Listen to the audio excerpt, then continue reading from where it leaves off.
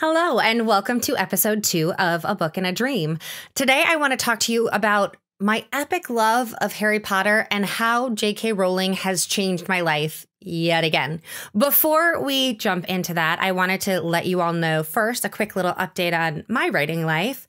Wrath and Wing, the prequel novella for my new Ena of Ilbrea series, is now available to download for free on basically every ebook platform. I think I hit them all. If you find one that Wrath and Wing is not on, let me know and I'd love to hop on over there. Also, Wrath and Wing is available as a very cool little miniature paperback and is my first foray into large print. So that's pretty neat. Check those out. The first book in the series, Ember and Stone, is out December 26th. So I'm very excited about it. But in the meantime, check out Wrath and Wing. Now, I was a little bit late hopping on the Harry Potter Hogwarts Express. I didn't start reading the books till I was 16, which for my age group is about three, four years late. So I hopped in late and I instantly fell in love. It was book three had just come out when I started reading the series. From there on out, every midnight book release, I was there. Every midnight movie release, I was there. Actually, when book seven came out, I was working living history in Newport, Rhode Island. And my boss actually scheduled me the next day so I could binge read. I finished the books in less than 24 hours, thanks to uh, that wonderful boss. He wins Boss of the Year for that. Thanks, Patrick. And then Time went on, there was no new Harry Potter. Then the wizarding world of Harry Potter appeared. And of course, I went and sobbed like a baby and went to Ollivanders. And you know you're an epic fan when you're in a room of children and the worker at Ollivanders chooses you for the wand experience. A wand chose me. Yes, I have it. It was amazing. And then we get Fantastic Beasts and we get Harry Potter and the Cursed Child. Now, I heard Harry Potter and the Cursed Child was coming out, and unfortunately, at the time, did not have the ability to just hop on a plane to London and see the show. So I went to Barnes and Noble at midnight and picked up the book of the script, devoured it, loved it. Still didn't really have the ability to hop on a plane to London. So that was sort of my Cursed Child experience for a while. Well, they have recently been having some excellent discounts on tickets to Harry Potter and the Cursed Child on Broadway. So I snagged some tickets, super excited about it because I am an actor and I am an author. Harry Potter and the Cursed Child is such an awesome intersection of the two art forms that are my life.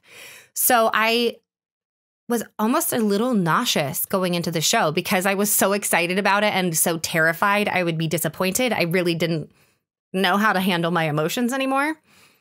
But it was amazing. It was fantastic. They, I, don't worry, there's going to be no spoilers. I hate spoilers. Promise, nothing. You can keep listening, it's safe. But they renovated the inside of the theater specifically for the show. It is completely immersive. From the moment you walk into the theater, through the show all the way out, it is completely the world of Harry Potter and it's amazing. And the tech for the show is phenomenal. I I'm in theater, I'm in professional theater. I've spent my life doing this and there are some things that I they pulled off that I'm not really sure how they did it and it's pretty impressive if you can stump me on stage. It was a phenomenal experience and one of the best parts was how different the audience base was. I've seen a lot of Broadway shows and they're sort of the same like standard crowd you're going to see. But this was true Harry Potter fans. It was a different demographic, a different age group, a completely different vibe.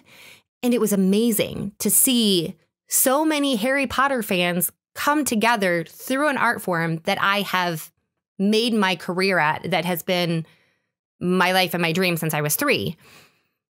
And it kind of gave me a new and strange life goal. So, when I first started writing, my goal was just to be a published author. And then the goal became to get an agent. And then there was all the uh, publishing trauma that we talked about in episode one. Check it out if you haven't already listened to it already. And after that, the goal became to get my work out there the goal has become to make a full time living out of writing. And then stacking on that, there are other goals like become a New York Times bestseller, get a Netflix original series, those sorts of things. But after seeing Harry Potter and the Cursed Child, the new goal has been to have a book of mine turned into a Broadway show and have that show win a Tony Award. So, part of that is because it would be really cool to sit in the house at the Tonys and have them reading the things. And then I get to wear a pretty dress and go up on stage with the cast and smile while the producers say things. And that would be amazing. But it's also because, well, the Tony helps drive audience members to the show. So then more people would get to absorb one of my stories in two art forms. And that would be so cool. It's this perfect intersection between the two things that I love so much. But it's kind of a weird goal. So I'm not really sure how to start on that, what to start on that, where do I go? So recently, there have been at least three Broadway shows based on young adult novels. There's Be More Chill, there is The Lightning Thief, based on the Percy Jackson series, and of course, Harry Potter and the Cursed Child, based on Harry Potter. Then there's even a Broadway show that went the other direction and became a novel afterwards, Dear Evan Hansen, which is super cool that it went the other direction. That's kind of amazing. So there is a market for it, there's a way to do it but what's the pathway? I've written lyrics before and wrote a kids show. It's called Princess Camp the Musical. Check it out. But I don't necessarily want to write the show to be on Broadway. I want to write the book for someone to write the play for to be on Broadway. How does one do that? I'm not really sure. I mean, obviously, I have to keep producing work and keep producing good work so that there is something worthy of the Broadway show. I'm not sure if any of my current books, while they'd make great Netflix original series, would necessarily make a good musical just because of the scope of them. It might be weird to have people singing about a dystopia with chemically induced vampires. I don't know, it could work. In my head, it's it's a little weird. So, do I focus on writing books that would make good musicals? Do I go and stop performing for a little while so I can take workshops on writing musicals? So, even if I don't write it, I make more friends who write musicals. These are the things that I've sort of been questioning for the past little while since I saw Harry Potter and the Cursed Child. And I'm not really sure. I'm not really sure how this changes the five year plan, the 10 year plan, because if I want to have a Broadway show written based on one of my books on Broadway in 15 years, that means we need to start musical workshops in 10 years. So this has sort of bumped the timeline up.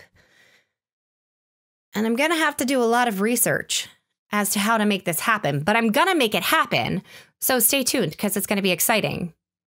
Not sure what this journey is yet, but it's going to be great. And I just want to take a moment before I sign off here to say how epic it is that J.K. Rowling has changed so many lives in so many ways. Not only did she inspire an entire generation to keep reading and create jobs with theme parks and Broadway musicals and everything else, but she's inspired so many people to write, to write in fantasy, and now me to write in fantasy to create a Broadway show off what I wrote in fantasy. So that's kind of amazing. And that's the sort of influence that art can have in book form and in musical form and in TV, painting, everything else. And that's really cool. That's an amazing amount of influence for an artist to have over so many people in the world. That's great. If you have a story about how Harry Potter, J.K. Rowling, any other YA book or piece of art has changed your life, drop a comment below. If you happen to know how to get a book changed into a Broadway musical, also drop a comment below or reach out to me on social media Instagram, Twitter, all those things. Don't forget to like or subscribe depending on your preferred platform. And as always, thank you so much for joining me for a book and a dream.